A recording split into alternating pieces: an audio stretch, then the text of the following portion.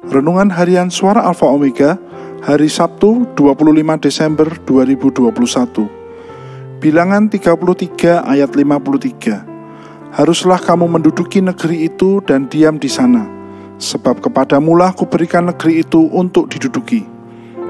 Ayat ini berisikan bagaimana Allah mengulangi kembali janji yang telah dibuatnya bersama-sama dengan para bapak beriman. Allah sudah menjanjikan kepada Abraham bahwa ia dan keturunannya akan menempati tanah Kanaan. Janji ini kini diulangi kepada Musa. Allah mengulangi kembali janji yang dahulu diberikan kepada Abraham. Ia menandaskan bahwa tanah Kanaan akan diberikan kepada Israel untuk diduduki. Walaupun jalan untuk merebut tanah itu tidaklah mudah, tetapi Allah menegaskan bahwa janjinya akan tanah pasti terpenuhi. Apakah saat ini Anda meragukan janji-janji Allah? Milikilah cara pandang yang benar akan Allah.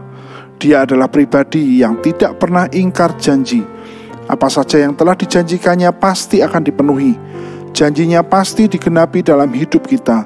Oleh karena itu, jangan pernah kita undur daripadanya, karena segala janjinya iya dan amin. Mari kita berdoa. Tuhan Yesus ajari kami untuk terus percaya kepada setiap janjimu, karena engkaulah Allah yang tidak pernah mengingkari janjimu. Di dalam nama Tuhan Yesus Kristus kami berdoa. Amin.